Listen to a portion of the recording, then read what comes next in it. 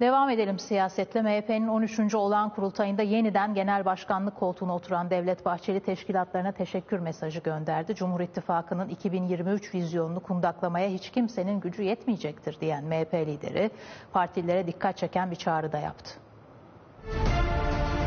Milliyetçi Hareket Partisi ve Cumhur İttifakı Türkiye'dir, Türk milletidir, istiklal ve istikbal ahlakıdır. Cumhur İttifakı'nın 2023 vizyonunu kundaklamaya kimsenin gücü yetmeyecektir dedi. Teşkilatından bu duyarlılıkla çalışmaya devam etmelerini istedi. Bundan önce olduğu gibi bundan sonra da tahrik ve tuzaklara karşı dikkat ederek, fitne ve fesada karşı uyanık durarak, partimizle birlikte Cumhur İttifakı'nın yükselişini engellemeye yönelik kara propagandalara aldırmadan inandığımız yolda kutlu ülkülerimiz uğruna mücadelemizi kararlılıkla sürdüreceğiz. Geçen haftaki kurultayda yeniden genel başkanlığa seçilen Devlet Bahçeli parti teşkilatlarına bir kutlama ve teşekkür mesajı gönderdi. Kurultayın hem demokrasi şaheseri hem de milliyetçiliğin şahlanışı olarak hafız hafızalara kazındığını söyledi. Cumhur İttifakı vurgusu dikkat çekti MHP liderinin açıklamasında. Yegane geçim kapısı dedikodu olanların algı oyunlarına, sosyal medyadan ahkam kesen bozguncu odaklara, yalanı ve demokrasi kalpazanlığını meslek edinmiş bulanık zihniyetlere asla fırsat verilmeyecektir. Cumhur İttifakı'nın 2023 vizyonunu kundaklamaya hiç kimsenin gücü yetmeyecektir. Cumhur İttifakı